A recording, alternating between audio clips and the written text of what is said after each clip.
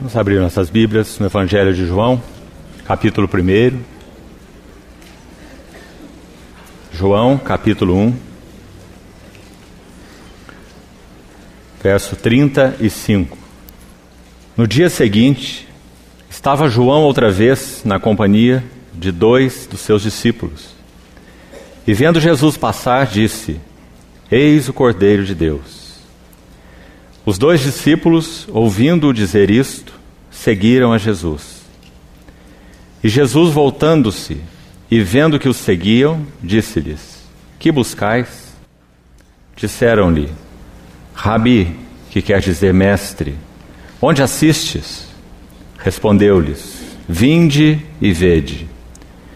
Foram, pois, e viram onde Jesus estava morando e ficaram com ele aquele dia, sendo mais ou menos a hora décima. Era André, o irmão de Simão Pedro, um dos dois que tinham ouvido o testemunho de João e seguido a Jesus. Ele achou primeiro ao seu próprio irmão Simão, a quem disse: Achamos o Messias, que quer dizer Cristo, e o levou a Jesus. Olhando Jesus para ele, disse: Tu és Simão, o filho de João.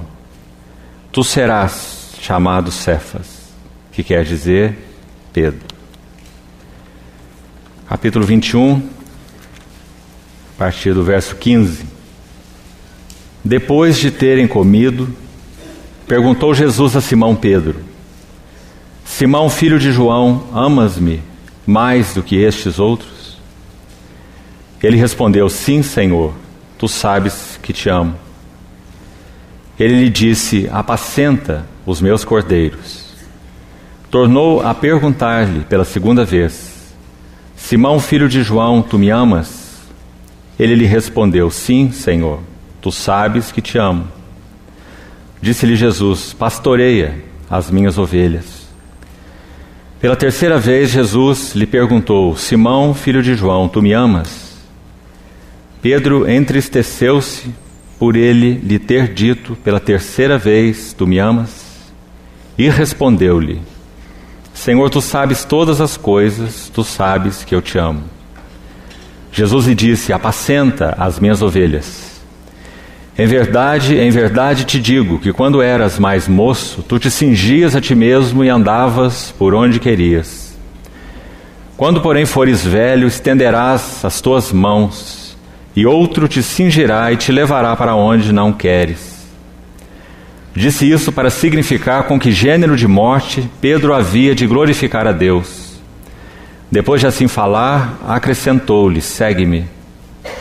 Então Pedro, voltando-se, viu que também o ia seguindo o discípulo a quem Jesus amava, o qual nascia se reclinara sobre o peito de Jesus e perguntara: Senhor, quem é o traidor? Vendo-o, pois, Pedro, perguntou a Jesus: E quanto a este?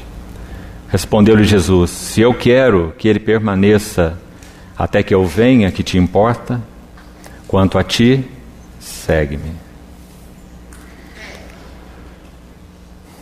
Com a ajuda do Senhor, vamos buscar dar mais um passo hoje nesse assunto, liderança espiritual, através desse trabalho magnífico esse trabalho transformador que o Senhor realizou na vida de Simão, o filho de João, transformando em Cefas uma coluna, um fundamento no testemunho do Senhor.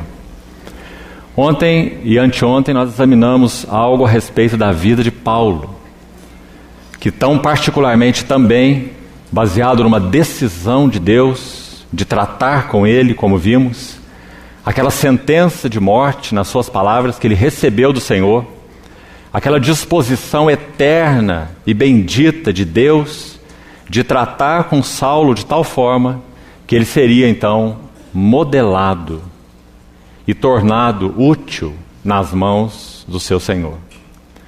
Quando Paulo resume de alguma maneira em alguns textos algo do significado desse seu chamamento e também do seu serviço, nós encontramos palavras muito impressionantes. Poderíamos ler uma delas antes de abordarmos a questão de Pedro diretamente.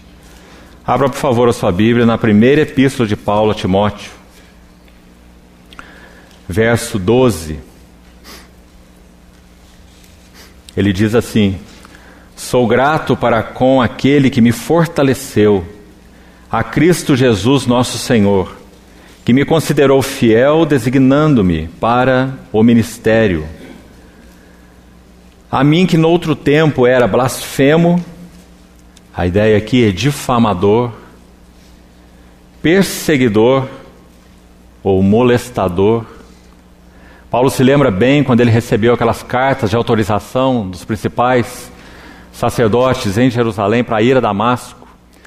E ele dá seu testemunho diante de uma multidão em Jerusalém, registrado em Atos 22 dá um novo testemunho diante do rei Agripa, registrado em Atos 26, onde ele se lembra muito bem que aquelas cartas iriam autorizá-lo a manietar cristãos e levá-los para serem encarcerados em Jerusalém. Ele diz: Eu persegui este caminho até a morte. E quando os votos eram dados a respeito dos cristãos viverem ou morrerem, eu dava o meu voto a favor da sua morte. Muitas vezes, ele diz, eu concordei com seus açoites. Paulo foi testemunha do martírio de Estevão. Então ele usa essa palavra perseguidor, porque ele tem aquela memória tão clara de que ele molestou a igreja de Cristo.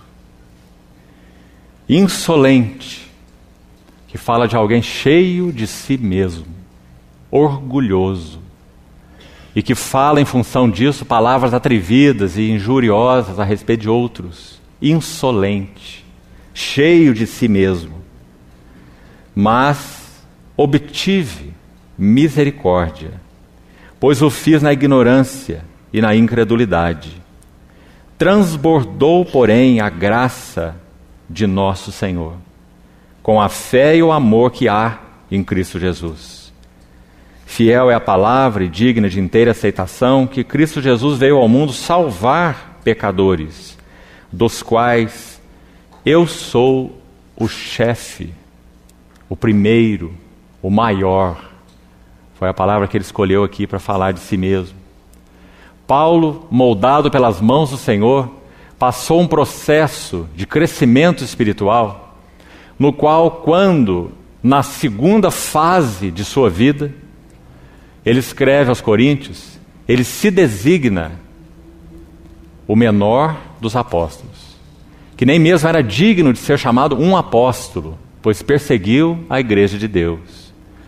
Já no estágio mais avançado, escrevendo aos Efésios, já na última fase da sua vida de serviço ao Senhor, ele se intitula aquele que é menor no meio de todos os santos. E na última etapa, da última fase da vida de Paulo, ele escreve três epístolas, as chamadas pastorais, duas a Timóteo e uma a Tito. E aqui nós vemos, ele se designa o chefe dos pecadores, o maior dos pecadores. Graça sobre graça. Quando nós somos transformados de glória em glória na imagem de nosso Senhor, nós conhecemos a abundância da graça, que tomou seres como nós, para passo a passo, nas mãos do Senhor, sermos modelados. Talvez, irmãos, o apóstolo Pedro tenha sido mais disciplinado pelo Senhor do que qualquer outro dos apóstolos. Por outro lado, nós somos tão agradecidos ao Senhor, tanto pela disciplina que ele aplicou a Pedro, quanto pelo que ele confiou a Pedro. E pela forma como o Senhor moldou a Pedro. Essas duas coisas andam sempre juntas e nenhum de nós pode nos esquivar desse assunto de liderança espiritual. Se você acha que pode se esquivar desse assunto, liderança espiritual, quem sabe por meio de uma pretensa humildade, dizendo que você é um irmão no meio dos irmãos, dizendo que você é um servo de Deus, salvo pela graça, perdoado, coberto pelo sangue de Cristo, e é isso que te importa, você está muito enganado. Se você pensa assim, não se case, porque cada marido recebeu o encargo de Deus de exercer liderança espiritual. Se você pensa assim, não tenha filhos, porque cada pai, cada mãe recebeu o encargo do Senhor de exercer liderança espiritual sobre seus filhos. E ainda se você pensa assim, nem mesmo seja um irmão ou irmã no meio dos irmãos e irmãs. Porque cada irmão e cada irmã no corpo de Cristo recebeu o encargo do Senhor de exercer influência sobre outros irmãos e irmãs, para conduzi-los a um conhecimento mais profundo e mais amplo do Senhor Jesus Cristo. Então, nenhum de nós se dá por escusado nesse assunto liderança espiritual. Nós fomos chamados para exercermos influência de Cristo nas vidas uns dos outros. Não foi exatamente isso que Paulo quis dizer com a fragrância do seu conhecimento, texto que já examinamos? Por meio de nós, porque Deus decidiu tratar conosco purificar-nos como aquele acrisolador de prata, como vimos no Salmo 66. Então, por meio de nós, manifesta em todo lugar a fragrância do seu conhecimento. Essa fragrância, essencialmente, é claro, é Cristo mesmo. Mas, como nós já falamos, graças à bendita misericórdia de nosso Senhor, quando Cristo está em nós, sua vida veio a nós para ser trabalhada em nós. Então é o que chamamos de caráter de Cristo. Não apenas, como dissemos, como uma água passando por um cano, onde água é água e cano é cano. Não é assim o trabalho do Espírito Santo em nós. Nós não somos simplesmente veículos. Nós somos transformados de tal forma que o caráter do Santo de Deus, o Senhor Jesus, é impresso em nossas vidas. Isso é uma tão grande salvação. A partir da vida do Senhor no nosso espírito, então os nossos sentimentos, então os nossos pensamentos, nossa maneira de agir e de reagir, nossas decisões, elas vão sendo tão afetadas pela vida de Cristo em nós, se nós permitirmos e nos rendermos ao trabalho transformador de Deus por meio da Sua palavra e por meio dos seus arranjos providenciais, como também comentamos ontem. Então, essa imagem de Cristo vai sendo talhada, forjada na urdidura e trama do nosso tecido moral interior. E isso é o que a Bíblia chama de santificação. Graças ao Senhor por uma tão grande salvação. A.B. Simpson contou certa vez uma história que nos ajuda a entender esse assunto da disciplina de Deus e daquilo que o Senhor nos confia. Quanto maior a disciplina de Deus sobre nossas vidas, quanto mais nós nos dobramos, fechamos nossas bocas e beijamos a mão que trata conosco, mais somos úteis nas mãos do Senhor. Porque mais da imagem de Cristo é forjada em nós mais disciplina, mais encargos, mais nos é confiado. Então, esse irmão certa vez contou uma história verdadeira em um dos seus escritos, A.B. Simpson. Ele ilustra com a figura de, é, com essa experiência de uma mãe que amava o Senhor e Sua palavra. E ela estava em sua pia cheia de louças, lavando as louças. E a sua filha pequenina estava puxando a sua saia segurando uma boneca com o braço quebrado. E aquela mãe estava orando ao Senhor e fazendo o seu serviço de lavar louças. E a sua filha pedindo que a mãe consertasse o braço da sua bonequinha. E a mãe empurrava a sua filha, e a sua filha insistia, e a sua mãe dizia que estava ocupada e que tinha que completar o seu serviço. Até que, por fim, essa menina foi para o seu quarto, subiu na sua cama, abraçada com a sua bonequinha de braço quebrado, e dormiu chorando. Depois da mãe concluir seu período de lavar suas louças, meditando diante do Senhor e pedindo ao Senhor que ela gostaria de ser usada em esferas maiores do serviço ao Senhor.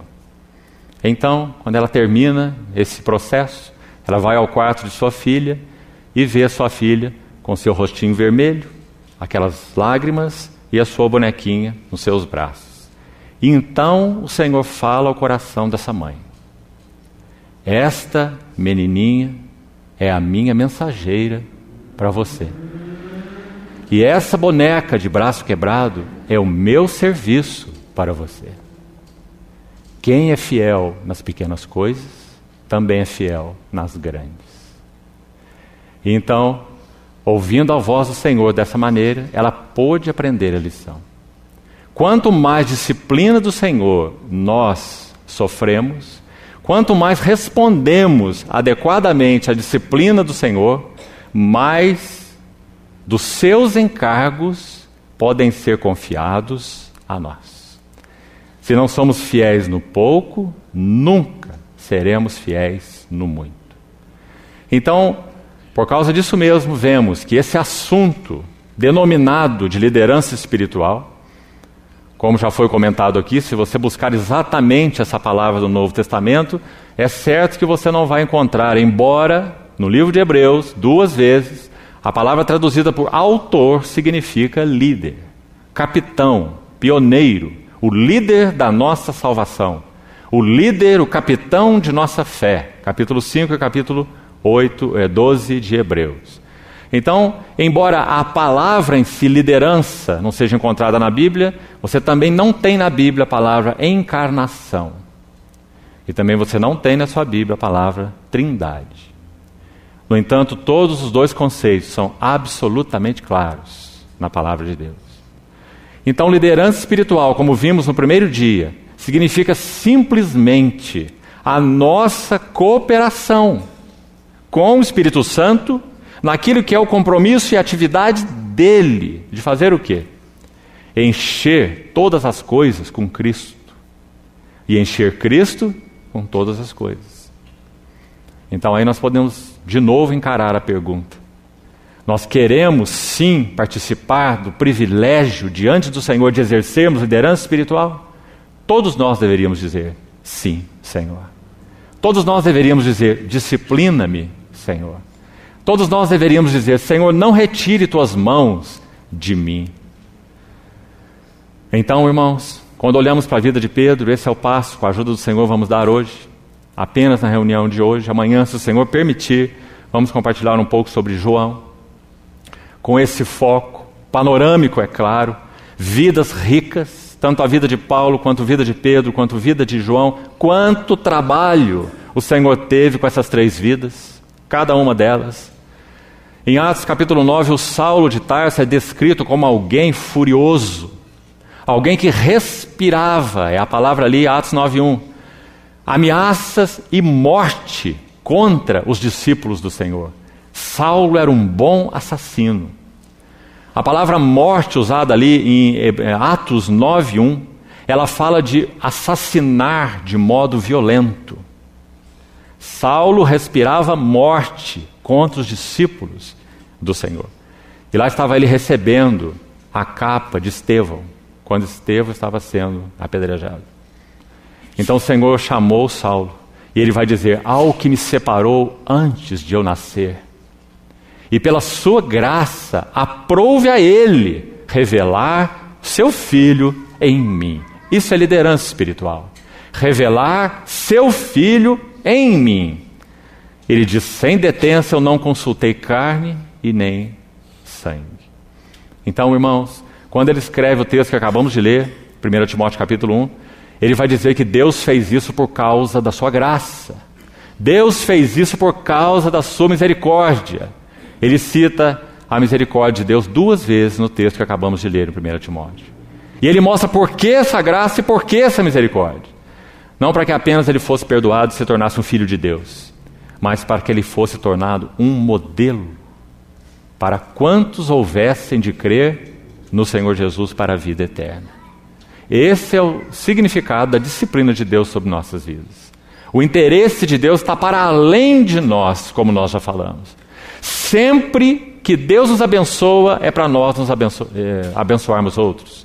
Sempre que somos disciplinados, é para o vosso conforto e salvação.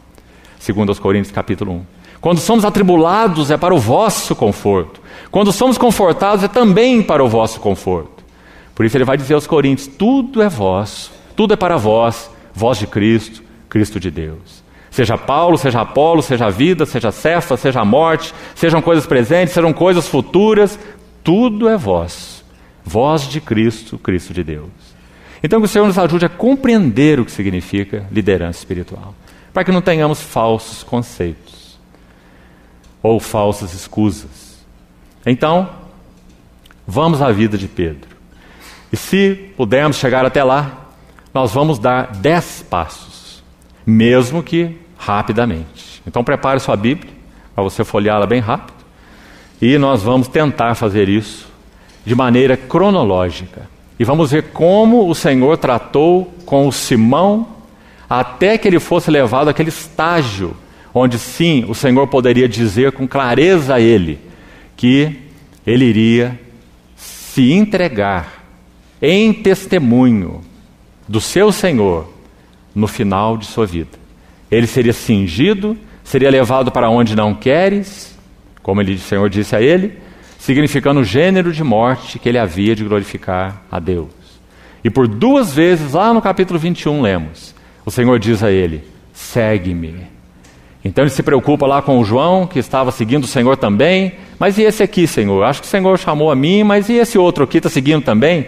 Será que ele achou que o chamamento é para ele também? Ele está com o ouvido muito esperto. O Senhor chamou a mim, mas tem um outro aqui andando atrás de mim. E quanto a este?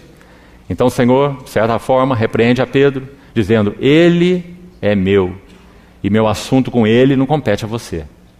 Quanto a ti, segue-me. Foram as últimas palavras do Senhor para Pedro, repetida duas vezes: segue-me, segue-me. Quando nós lemos em João capítulo 1, aí vamos no primeiro passo, João capítulo 1, o encontro do Senhor com Pedro, realmente esse encontro é muito significativo. Primeiro, porque é dito que quando João Batista anunciou o Cordeiro de Deus, você sabe que ele responde, João Batista responde, aquela que é chamada a pergunta mais significativa de todo o Velho Testamento, a pergunta de Isaac para o seu pai Abraão: Onde está o cordeiro? Veja o fogo, veja o cutelo, mas onde está o cordeiro? Naquela hora em que Abraão estava já moldado para representar Deus o Pai, como aquele que envia seu unigênito filho amado ao altar. E ali estava Abraão, nessa tipologia tão maravilhosa de Deus o Pai com relação a Deus o Filho. Porque Abraão foi moldado de altar em altar, quatro altares, e foi visitado por Deus onze vezes, até chegar a Moriá. A palavra Moriá significa visível ou escolhido do Senhor. Então ali estava Abraão, o amigo de Deus, que foi moldado de tal forma a representar Deus, tanto no oferecimento de seu filho, quanto no envio de Eliezer, no capítulo 24, como já falamos. Então, quando João Batista aponta o Cordeiro de Deus e diz: Eis o Cordeiro de Deus, ele está dois mil anos depois de Isaac, respondendo à pergunta de Isaac para o seu pai Abraão: Quantos cordeiros foram mortos nesses dois mil anos? Mas agora o verdadeiro cordeiro está ali às margens do Jordão. Eis o Cordeiro de Deus. Então, quando João Batista aponta o Cordeiro, dois dos seus discípulos seguem o Cordeiro. André é um deles, vimos aí, o irmão de Simão. E o outro é João, que omite o seu nome todas as vezes em que ele vai mencionar a si mesmo no seu evangelho e nas suas três epístolas. Em nenhuma delas aparece o nome de João. O nome de João é mencionado apenas no Apocalipse. Ele cita então seu nome, nos seus cinco escritos. Então, versículo 40 diz que esse André, o irmão de Simão Pedro, ele vai procurar o seu irmão. Não tem nada melhor para fazer com seu irmão do que levá-lo a Jesus. E essa é a palavra que encontramos no verso 42. E o levou a Jesus. Nesse encontro, irmãos, é fácil nós imaginarmos que para Jesus Simão é um desconhecido. E o André deveria estar todo empolgado que ele vai apresentar o seu irmão Simão para Jesus. Mas, antes de Simão estender a sua mão e dizer para o Senhor Jesus: Boa tarde, meu nome é Simão, é dito que o Senhor olhou para ele e disse: Tu és Simão, o filho de João. Pedro provavelmente vai se lembrar disso quando escreve a sua epístola, primeira, já um ancião no Senhor, e vai dizer que ele escreve para os eleitos, que são forasteiros da dispersão. E vai dizer logo no verso 2 da sua primeira epístola, começando a epístola, que eles foram eleitos segundo a presciência de Deus. Então, quando Jesus olha para Pedro, ele diz: Tu és Simão. É o Simão, filho de João. Nós sabemos que esses nomes são tão comuns. Simão e Jonas, ou João. Simão Bar Jonas. Talvez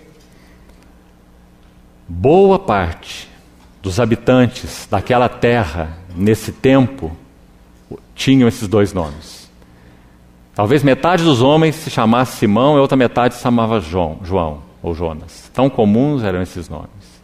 O Senhor está dizendo para o Simão: Simão, você é um dos João ninguém. Você é o Simão, o filho do João. Mas tu serás, veja essas duas expressões: tu és primeiro, e tu serás chamado Cefas. Mais uma vez, o Senhor havia decidido no seu coração chamar, escolher Simão e iria persistentemente persegui-lo, capturá-lo, quebrá-lo e moldá-lo finalmente. E foi isso que o Senhor fez com Pedro. Ele o perseguiu, o capturou, o quebrou e o moldou. Então, esse foi o primeiro encontro. Senhor Jesus se apresentando a Pedro e dizendo a Pedro essas palavras que formam tanto o início quanto o final do trabalho transformador do Senhor na vida de Pedro. Isso é o que tu és, Simão, o filho do João, e o que tu serás, uma pedra na casa de Deus. Por isso Pedro se ocupa tanto com esse assunto na sua epístola. Ele é a pedra que vive, rejeitada pelos homens, mas para com Deus eleita e preciosa. E vós também, como pedras que vivem, sois edificados uma casa espiritual. O tema de Pedro nas suas epístolas é a casa espiritual. O tema de Paulo é o corpo de Cristo, o tema de João é a família de Deus. E são esses três servos que temos tido então o encargo de compartilhar nesse tempo: Paulo, Pedro e João. A palavra Simão, usada aqui no verso 42, o nome Simão, significa instável. Cheio de sentido o significado do seu nome. O Senhor iria tomar aquela areia movediça chamada Simão, tão emocional, tão instável, e iria transformá-lo numa pedra, compondo os fundamentos da casa de Deus. Paulo vai dizer em Efésios 2 que a casa de Deus é edificada sobre o fundamento dos apóstolos e profetas. Que privilégio o Simão teve de ter sido assim chamado e separado. Mas, irmãos, é claro que o discipulado de Pedro é um paradigma, é uma figura do discipulado de todos nós. O que o Senhor fez com Pedro é o que ele quer fazer conosco. Vós mesmos, como pedras que vivem, sois edificados. Então, Segundo passo, Lucas capítulo 5. Em Lucas capítulo 5, é um texto bem conhecido dos irmãos, certamente. Nós vemos que alguns meses depois desse primeiro encontro do Senhor com Pedro, ou Simão, é que ele é chamado para um discipulado integral. Usemos essa expressão. Naquele primeiro encontro do Senhor com Simão, em João capítulo 1, Após aquele encontro, eles ainda continuaram a exercer o seu ofício de pescadores. Após esse segundo encontro em Lucas capítulo 5, então Simão e outros deixam a rede, deixam o barco, deixam seu pai e passam a seguir o Senhor. Mas esse segundo passo é muito sugestivo na vida de Pedro, porque o Senhor deseja pregar para uma multidão que está na praia. Então ele pede emprestado, mais uma vez, ou pela primeira vez, o barco de Pedro. Então ele afasta aquele barco da praia e prega a partir do barco para a praia. Quando ele conclui a sua pregação, ele vai retribuir o favor de Pedro. Então ele pede a Pedro, ordena a Pedro que lance as redes. E segundo alguns estudiosos, a palavra que o Senhor deu foi no plural: lançai as vossas redes. Lucas capítulo 5, verso 4. Faze-te ao largo e lançai as vossas redes para pescar. A ordem do Senhor foi no plural. Mas, segundo alguns eruditos, a palavra usada no versículo 5, sobre a tua palavra lançarei a rede, no singular e não no plural. Pedro, como se dissesse: nosso Senhor é muito bom, esse homem, esse rabi, esse mestre, esse que me chamou, esse que agora usou o meu barco e pregou para essas multidões, ele é muito bom em pregar, mas ele não entende nada de peixes. Nós já pescamos a noite toda e nada apanhamos. E ele pediu que as redes fossem lançadas, e Pedro lança uma única rede, como que dizendo: aqui não tem nada mesmo, nós já sabemos. E essa rede se encheu de peixe, e o barco ia a pique e outros companheiros vieram para ajudá-lo, está aí no texto. Então, quando essa confusão termina, nós temos aquele relato maravilhoso dos últimos versículos desse contexto, versos 8 a 11. Quando Pedro então se aproxima do Senhor, depois de ver o que aconteceu, ter exercido toda a sua atividade, com toda a sua perícia, nada tendo apanhado, o Senhor tendo enchido a rede deles de peixe, a ponto dos barcos quase sossobrarem. Então Pedro vai diante do Senhor, se dobra diante dele e diz algo maravilhoso. E creio que nós precisamos fazer aqui uma leitura subliminar. Às vezes na Bíblia você tem que fazer uma leitura subliminar. Você tem que ver o que está por trás das palavras. E este aqui é um caso. Quando Pedro se dobra diante do Senhor e diz assim: Senhor, retira-te de mim, porque eu sou um pecador. Por um lado, irmãos, as palavras são essas. Pedro quis dizer o que ele disse: Senhor, retira-te de mim, que eu sou um pecador. Mas parece que o que está por trás dessas palavras é Pedro como que dizendo: Senhor, mas antes de ir embora, deixa aqui teu endereço, porque eu vou correr atrás do Senhor. Pedro, de alguma forma, estava conquistado pelo Senhor. Ele já tinha ouvido do Senhor: Tu és o Simão, tu serás Cefas. Quando ele diz retira-te de mim, ele reconhece que o Senhor é outro, diferente dele. Um servo de Deus no passado usou uma palavra interessante no inglês. Não existe como traduzir em português. Otherness. Se fôssemos usar uma palavra em português, seria outralidade. Não existe essa palavra se referindo a Cristo. Cristo é um outro com O maiúsculo. Ele não é igual a nós. Ele em tudo se fez semelhante a nós. Ele assumiu natureza humana, mas ele é santo. Ele não é igual a nós, pecadores. Então, quando Pedro viu quem era esse Senhor, ele diz: Retira-te de mim, porque tu és outro.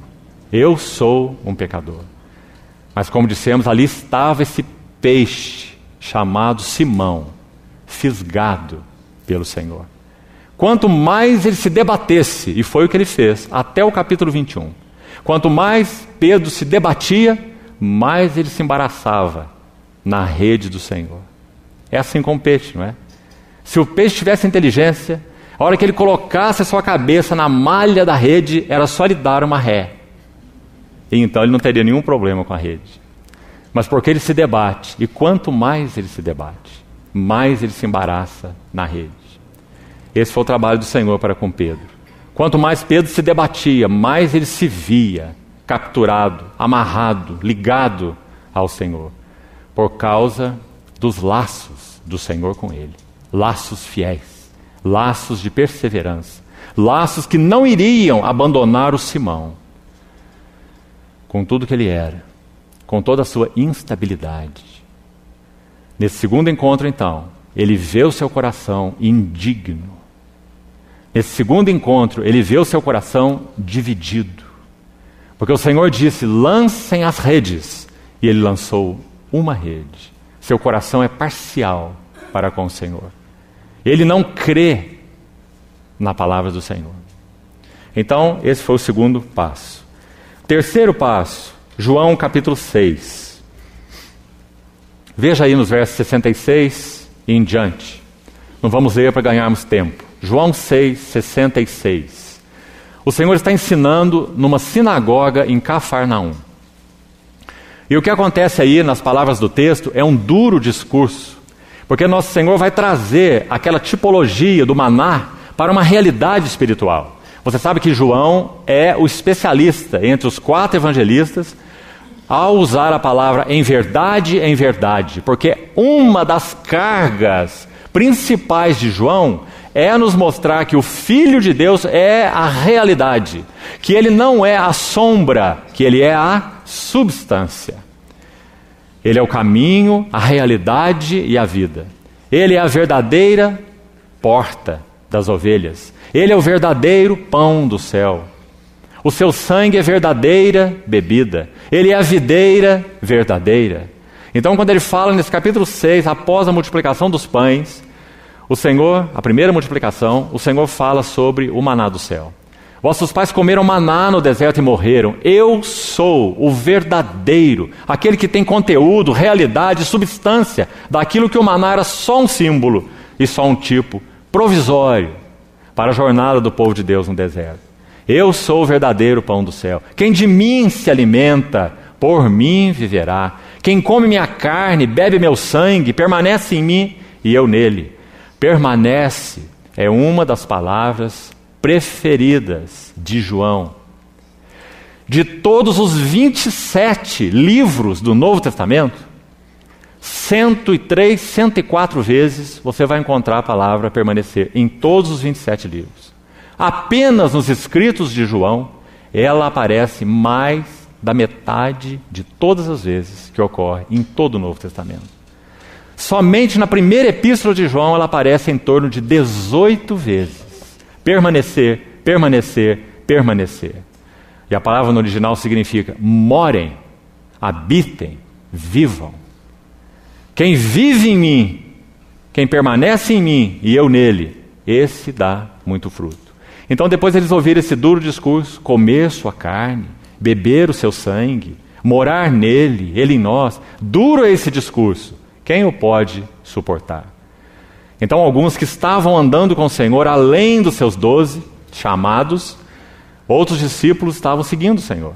Você vê claramente nesse texto, verso 66 em diante. Então é dito que muitos dos seus discípulos o abandonaram a partir desse discurso da realidade espiritual. E então o Senhor se volta para os seus doze e diz: E quanto a vós, vós também quereis vos retirar? E aqui nós temos mais um passo na história do Senhor com Pedro. É ele quem se manifesta mais uma vez. E ele vai dizer: Senhor, para quem nós iremos? Só tu tens as palavras da vida eterna.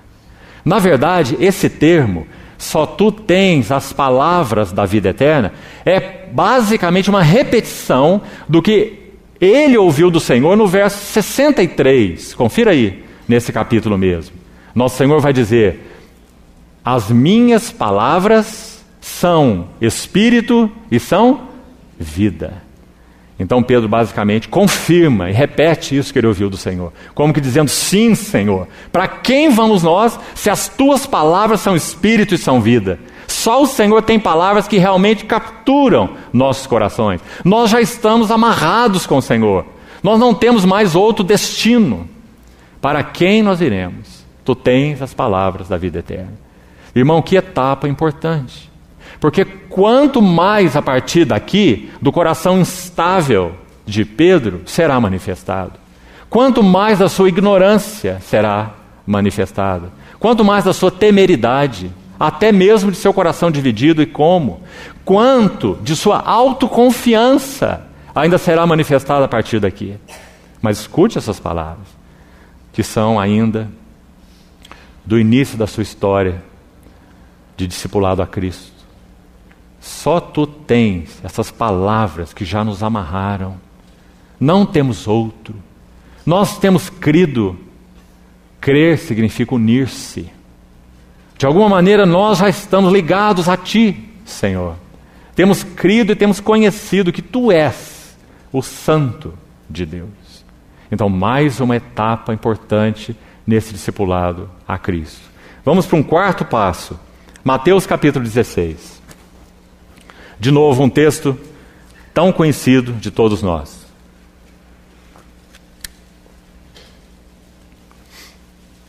Nosso Senhor caminha com seus discípulos pelas bandas de Cesareia de Filipe. Ele está subindo o monte Hermon. Esse é o caminho de Cesareia de Filipe. Nós sabemos que ali embaixo na planície tinha acontecido algo. Seus discípulos estavam indagando a respeito de pão. E nosso Senhor estava falando para eles se acautelarem do fermento dos fariseus e dos saduceus, se referindo a essa doutrina inadequada que fariseus e saduceus proclamavam. Mas eles não entenderam, mais uma vez, e achavam que o Senhor estava falando de pão literal. Então o Senhor teve que ser explícito que ele se referia à doutrina dos fariseus e saduceus. Então, se aquela planície estava ocupada com esses ensinos inadequados, o que o Senhor resolveu fazer com seus doze? Ele resolveu subir o monte, tirá-los daquele curso contaminado de doutrinas de fariseus e saduceus e levá-los a um monte de revelação. Então eles sobem para as bandas de Cesareia de Filipe. E naquele momento há uma parada ali, naquele ponto. E o Senhor faz uma pergunta, que podemos dizer que talvez seja a pergunta mais importante do universo. Quem diz o povo ser o filho do homem? Então ele ouve a primeira resposta. Uns dizem que tu és um outro Elias, ou Jeremias, ou alguns dos profetas. Então ele faz a segunda pergunta, complementar. Mas vós, quem dizeis que eu sou? E aqui nós temos então mais um passo do discipulado a Cristo de Simão. De novo é o Simão que vai se manifestar. Mas ele vai se manifestar de tal forma, como nós falamos, que se nós fizermos uma leitura do texto, buscando o espírito da palavra, quase nós podemos imaginar que quando o Senhor faz essa pergunta, quem dizeis vós que eu sou? Então Pedro vai dizer de uma maneira tão explícita: Tu és o Cristo, o Filho do Deus vivo. Quase nós podemos imaginar como Pedro colocando a mão em sua boca assim, olhando para trás para ver quem que disse essas palavras. Porque nosso Senhor vai dizer assim para ele: Bem-aventurado és, porque não foi carne, nem sangue não foi tua esperteza, tua capacidade de discernimento, tua perspicácia. Não foi carne nem sangue quem te revelou, mas o meu Pai que está nos céus. E então o Senhor deu uma palavra para ele. Também eu te digo que tu és Pedro. E sobre aquela rocha, Petra, rocha, o filho, sobre esta rocha, edificarei a minha igreja. E Pedro seria uma pedra viva nesse edifício de Deus. E eu te darei chaves do reino. E o que ligares na terra terá sido ligado no céu, o que desligares na terra terá sido desligado no céu. Nós sabemos quando Pedro prega a primeira mensagem no Pentecoste, Atos capítulo 2, ele está usando as chaves que o Senhor deu a ele. Quando aquelas três mil almas foram compungidas ao ouvir o Cristo que Pedro agora lá conhecia, aqui ainda não, mas lá sim, aqui ele teve uma revelação, mas ele não havia sido ainda moldado. Então, quando no Pentecostes ele prega aquela mensagem, três mil almas têm seu coração perfurado e compungiu-se-lhes o coração. A palavra fala de algo entrando e perfurando. Compungiu-se-lhes o coração e eles disseram: Que faremos? Então Pedro usou as chaves que o Senhor já lhe havia dado. Eu te darei as chaves do reino dos céus. Quais são essas chaves? Arrependei-vos e cada um de vós seja batizado em nome de Jesus para a remissão dos vossos pecados e recebereis o dom do Espírito Santo. Então, esse foi mais um passo no discipulado de Pedro, Mateus 16. Mas ainda temos algo aqui nesse capítulo. Depois dessa revelação tão grandiosa, o que você lê a partir do verso 21? Olha aí com atenção. Pedro mais uma vez vai se manifestar. Imediatamente depois dessa manifestação que refletiu uma revelação tão grandiosa de Deus, ele vai manifestar mais uma vez o que ele é em si mesmo. Ele não foi ainda mudado. Ele ainda é tão natural. Então, a partir do verso 21, Pedro, talvez um pouco mais velho em idade do que o nosso Senhor, ele vai tomar uma atitude de instrutor, como os mais velhos fazem com os mais novos. É dito que ele chamou o Senhor à parte, porque o Senhor começou a falar sobre ir para a cruz, e aí foi a primeira vez. Ser escarnecido, cuspido, entregue aos principais sacerdotes, ser morto. Então, Pedro não gostou dessa ideia. Porque se o seu mestre ia para lá, para onde que eles iriam, sendo seus servos? Então Pedro chamou o Senhor à parte e disse: Mestre, tem compaixão de ti. E aí, de novo, se você ler as palavras por trás dessas, Pedro está dizendo: Senhor, tem compaixão de mim. Se o teu caminho é a cruz, qual é o meu caminho? Se eu sou o teu discípulo. Se tu és o Cristo, o Santo de Deus. Então ele chamou o Senhor à parte e foi dar um conselho mais sábio para o Senhor. Senhor, esse não é o melhor caminho. Tu és um mestre. Como nós precisamos desse mestre? Tu és o redentor de Israel. Toda a esperança de Israel se baseia em ti. Tu és o nosso libertador. Como o senhor pode estar agora com a mente tão atrapalhada, falando sobre cruz, morte, açoites? Então, nosso Senhor diz assim a Simão: Afasta-te de mim, Satanás. Tu és para mim um escândalon, é a palavra na língua original, que significa uma pedra para que eu tropece. Uma pedra de tropeço.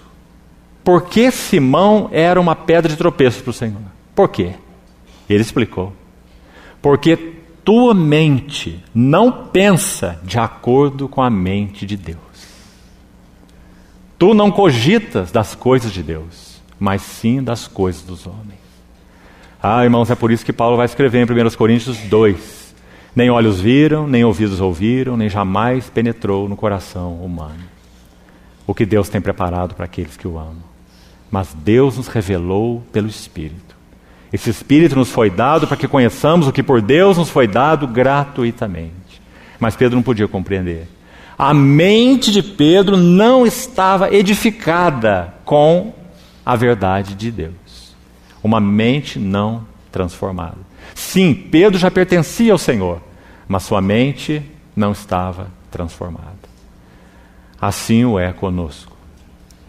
Então, quando Pedro externa esses pensamentos, ele é repreendido assim pelo Senhor. E o texto segue. E nosso Senhor vai falar, como já falamos, a primeira menção explícita sobre a cruz está aí Logo em seguida, no capítulo 17 de Mateus, vem a segunda. O Senhor já falando imediatamente depois, de novo, claramente, que ele iria para Jerusalém sofrer, morrer, ser açoitado, desprezado, morrer e ao terceiro dia ressuscitaria. Duas vezes, então. E depois, praticamente na última semana do seu ministério, ele vai falar a última vez, claramente, sobre a cruz. E como nós citamos ontem, Lucas 18, por exemplo, registra este tempo. E lá vai dizer que os discípulos não entendiam nada a respeito dessas coisas. Porque o sentido dessas palavras lhes era encoberto. Ah, irmãos, só o Espírito Santo pode nos revelar o que significa o caminho da cruz. Sem cruz, sem glória. Sem cruz, sem trono. Sem cruz, sem coroa. Sem cruz, sem utilidade só o Espírito Santo pode abrir os nossos olhos. Então, mais um passo se cumpre aqui. Na sequência do texto, vamos dar mais um passo. Quinto ou sexto aí, já não sei nem em qual estamos. Nós vamos para Mateus 17. E agora algo acontece aí. Na sequência, o Senhor toma consigo alguns dos seus discípulos. Sabe por que ele faz isso? Não é porque eles eram os melhores, é porque eles eram os piores. Quando alguém se converte, e você vai ouvir o testemunho dele, e ele diz assim: Eu fui o primeiro a me converter na minha família. Você já ouviu isso muitas vezes? Sabe qual é a razão disso? Deus sempre coloca a carne mais dura primeiro na panela. Porque leva mais tempo ela ser amolecida. Então, quando o Senhor chama Pedro, Tiago e João e os traz para si, qual era seu objetivo? Ali ele tinha as três carnes mais duras. Será que isso é verdade? Quando nós estudamos o discipulado de Pedro, nós sabemos que sim. Quem era o Simão Pedro? Cheio de autoconfiança. Assim como nós. Quem era Tiago e João? Os filhos do trovão. Aqueles que não suportaram nem uma cara virada dos samaritanos para Jesus. Senhor, essa aldeia desses mestiços não querem receber o Senhor. Queres que nós mandemos descer fogo do céu para os destruir? E o nosso Senhor nos repreendeu e disse: Vós não sabeis de que espírito sois. E por quê? Porque o Filho do Homem veio buscar e salvar o que estava perdido e não fazer descer fogo do céu. Então esse era Pedro, da igual maneira. Então o Senhor toma esses três, Pedro, Tiago e João, muito bem escolhidos, e os leva a um alto monte. E lá nós temos uma cena, irmãos, que torna os capítulos 16 e 17 de Mateus dos capítulos mais importantes de toda a Bíblia. Porque nesse capítulo nós vamos ver quatro grandes revelações. Primeiro, tu és o Cristo. Depois, o significado da igreja. Sobre esta rocha eu edificarei a minha igreja, e as portas do inferno não hão de prevalecer contra ela. Terceira revelação: a cruz. A cruz de Cristo e a cruz nos seus discípulos ou o caminho da cruz. Se alguém quer vir após mim, só há um caminho: negue-se a si mesmo. Tome a cruz e siga-me. O que você é e tem não me serve, não me aproveita. Negue-se a si mesmo, tome a cruz e siga-me, para que Cristo seja formado em nós. Cristo a primeira revelação Mateus 16, a igreja, segunda revelação em Mateus 16, a cruz, a terceira revelação em Mateus 16 e a última, o reino. Irmão, se você colocar três colunas, Cristo, a cruz e a igreja, você consegue colocar debaixo dessas três colunas todos os versículos do Novo Testamento. Porque esses são os temas mais importantes do Novo Testamento. Cristo, a cruz e a igreja. E todos eles estão aí nesse capítulo 16 e 17 de Mateus. Então a última dessas revelações é o reino. Ele toma três, os coloca à parte, sobe um monte, porque ele tem uma finalidade. Qual foi a palavra que ele deu antes a eles? Alguns que aqui se encontram não passarão pela morte até que vejam vir o Filho do Homem no seu reino. Então, irmãos, que passagem importante é essa? O Senhor vai mostrar para os seus discípulos o que é o reino. E o que eles veem? Se o reino de Deus fosse essencialmente esse que futuramente vai se revelar, então a palavra que o Senhor disse para eles não se cumpriu. Porque todos eles já morreram e não viram esse reino que futuramente vai se revelar, porque o rei ainda não voltou. Mas nosso Senhor garantiu a eles: alguns que aqui se encontram não morrerão, até que vejam o filho do homem no seu reino. E então ele subiu o monte e foi transfigurado diante deles. Irmãos, que lição clara! O que é o reino de Deus, em essência?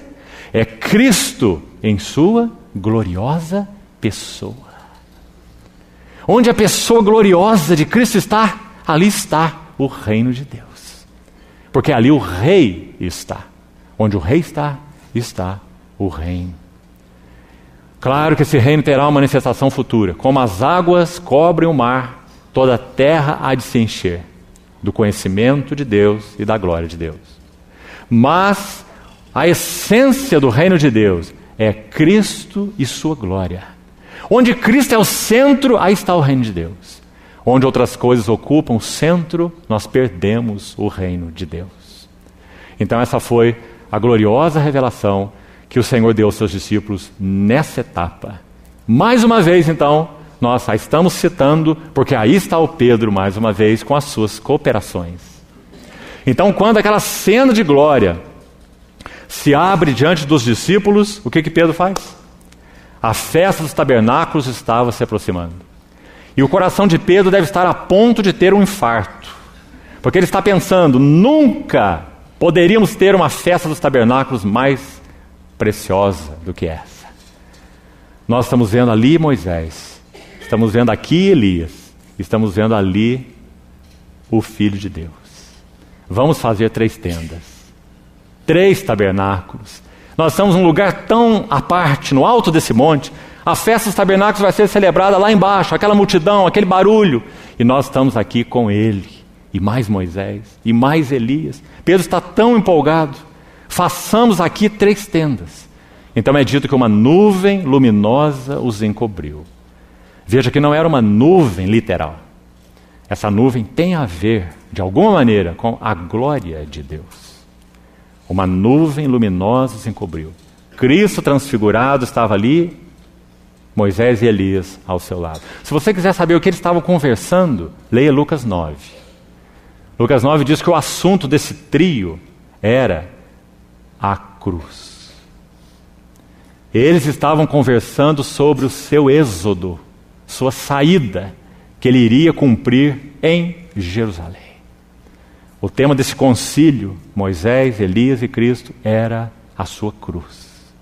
Então, depois dessa nuvem luminosa os encobrir, eles caem prostrados em terra e Pedro talvez seja o primeiro que levantou sua cabeça, como sempre.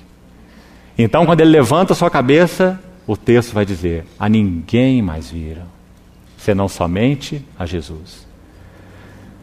Pedro precisa ser trabalhado pelo Senhor, irmãos, de tal maneira, moldado pelo Senhor, porque até mesmo nesse monte de glória, o monte da transfiguração, Pedro ainda continua abrindo a sua boca.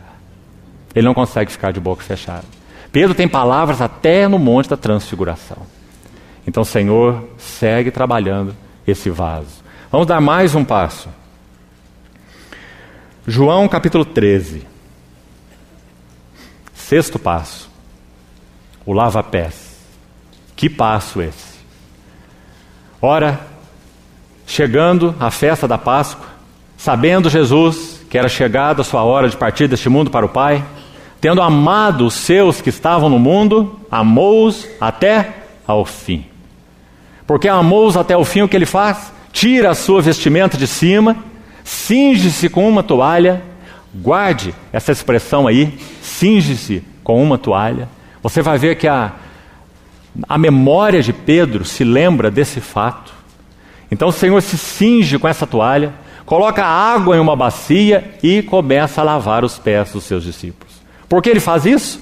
Porque ele sabia a quem ele pertencia Senhor Jesus tinha a sua identidade espiritual muito clara. Ele sabia que viera de Deus e que voltava para Deus.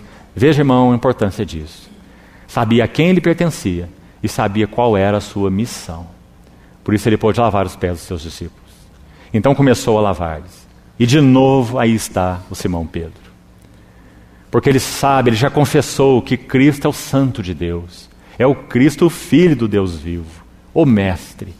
Mas agora ele vê aquela atitude tão servil, tão baixa, tomando aquela toalha, aquela bacia e saindo a lavar os pés dos seus discípulos. Parece que cada pé que o Senhor lava, o coração de Pedro vai palpitando de uma forma cada vez mais rápida. E quando chega nos seus pés, ele já não pode suportar. Ele diz: Senhor, nunca, nunca me lavarás os pés. Então o Senhor, nesse processo tão maravilhoso de moldar esse vaso, ele vai dizer palavras de extremo significado. Nessa etapa, o Senhor vai falar algo com Pedro sobre ministério. Ele vai falar algo com Pedro sobre cooperação com o Senhor. Então ele vai dizer: Pedro, se eu não te lavar, não tens parte. Observe, ele não diz parte em mim, ele diz parte comigo. Porque sim, Pedro já pertencia ao Senhor.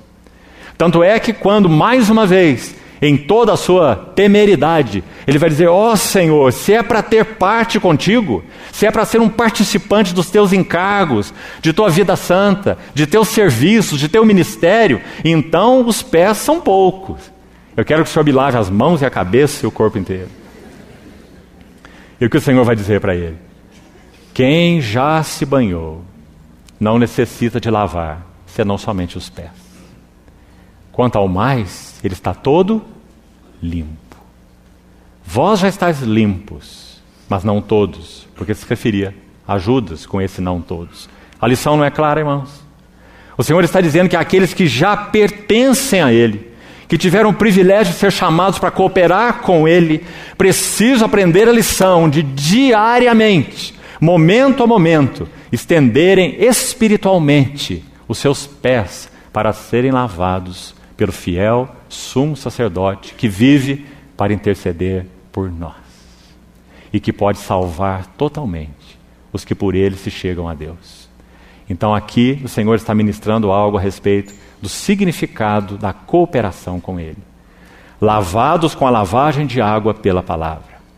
Podemos dizer que o que está envolvido aqui não são pecados e nem perdão de pecados, mas o que está envolvido aqui é a poeira do mundo que embaça, ofusca a face do Senhor da nossa face.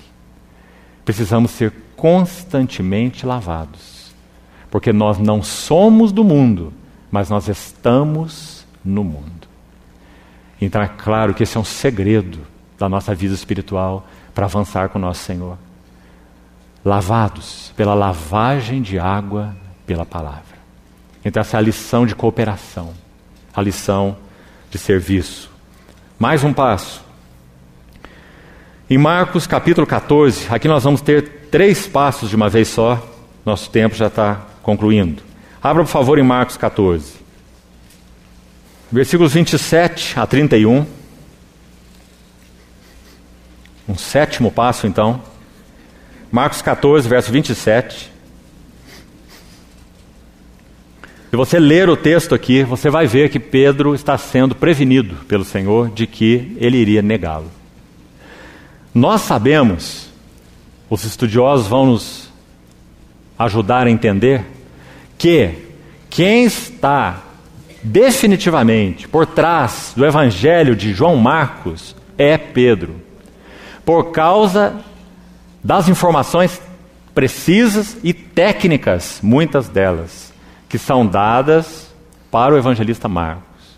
Grande parte delas, informações de um pescador.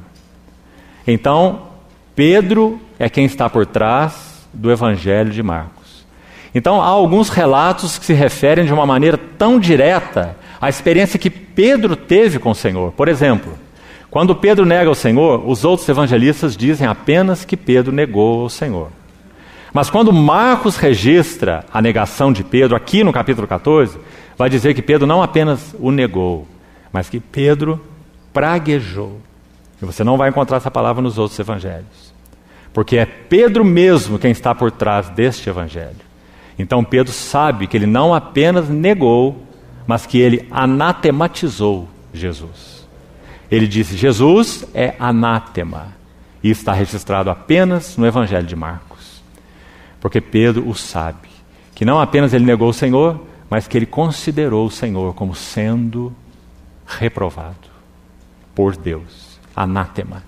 Então, no capítulo 14 de, de Marcos, quando o Senhor previne Pedro a respeito dessa negação, no verso 31, veja aí, diz assim, verso 29, dizia-lhe Pedro: Ainda que todos se escandalizem, eu jamais. Não é assim mesmo que nós somos, irmãos? Paulo escreveu em Filipenses capítulo 2 dizendo assim: Devemos considerar cada um os outros superiores a nós mesmos. Nós consideramos a nós, a cada um de nós, superiores aos outros. Então é como se Pedro dissesse: Senhor, eu não sei se o Senhor foi muito certeiro na escolha de 11, mas de um eu tenho certeza. Todos poderão se escandalizar de ti, mas eu nunca te abandonarei. Cheio de autoconfiança. Então, Marcos, e não os outros evangelistas, veja aí de novo. Marcos, por causa da, da mão de Pedro, por trás desse evangelho, ele vai registrar assim, verso 31 de Marcos 14. Mas ele insistia com mais veemência. Porque nosso Senhor falou no verso 30: Em verdade eu te digo, como que dizendo, ouça minha palavra, Pedro. Ainda esta noite, antes que duas vezes cante o galo, tu me negarás três vezes. Mas ele insistia com mais veemência: Ainda que me seja necessário morrer contigo, de modo nenhum eu te negarei. E aí, os Maria vai com as outras, disseram a mesma coisa. Assim disseram todos. Então, esse é mais um passo do trabalho do Senhor na sua relação com Pedro. Ele está expondo para Pedro o tamanho de sua autoconfiança. Ontem nós não tivemos tempo de examinar, dentre tantas marcas, na segunda epístola aos Coríntios, aquelas evidências de liderança espiritual em Paulo, Há uma lá no capítulo 3 de 2 Coríntios, que examinávamos ontem, onde Paulo diz assim: escute bem, não que nós, por nós mesmos, sejamos capazes de pensar alguma coisa como se partisse de nós. Mas a nossa suficiência vem de Deus, que nos equipou para sermos servos de uma nova aliança. Ah, agora ele sabe bem. Saulo de Tarso. Pedro aqui não sabia nada dessas coisas. Ele só olha para si mesmo e diz: nunca, de modo nenhum, ainda que a morte esteja à frente. Mas então, no verso ainda, nesse capítulo, verso 37, o Senhor vai orar no Getsemane. Quando ele volta, verso 37 desse mesmo capítulo, ele os acha dormindo e disse a Pedro, mais um passo da relação do Senhor com Pedro. Simão, tu dormes. Não pudeste vigiar nem uma hora. Aquele que disse que iria com o Senhor até a morte, que nada iria dissuadi-lo, ele não pôde suportar uma vigília de uma hora. O Senhor buscou companheiros na sua hora de profunda angústia. Sua alma se angustiava profundamente. E ele não encontrou nenhum companheiro nessa sua hora. E ele disse: Simão, tu dormes, nem uma hora pudeste vigiar. E então chegamos no verso 72 desse capítulo. E aqui estamos no nono passo. Pedro, verso 71, usa a palavra praguejar. Ele proferiu um anátema para o Senhor, dizendo: Não conheço esse homem. E no verso 72, é dito na parte final, que ele caiu em si e desatou a chorar. E então, o último passo, nós lemos capítulo 21 de João, o décimo passo. O Senhor vai restaurar Pedro. E não temos tempo para falar desse quadro. Talvez amanhã falemos um pouco dele. Um precioso quadro.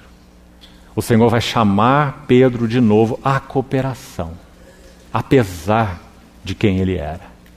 Então ele vai restaurar Pedro não apenas no que concerne a sua vida, mas em particular no que concerne ao seu serviço ao Senhor. Por quê? Porque agora ele chegou ao fim de si mesmo.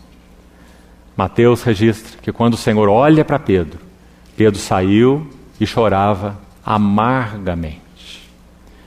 O Senhor continue, irmãos, falando ao nosso coração e que essa sentença de morte, essa decisão graciosa de Deus de tratar conosco, seja recebida plenamente pelos nossos corações dizendo a ele: Senhor, não tire tua mão de nós.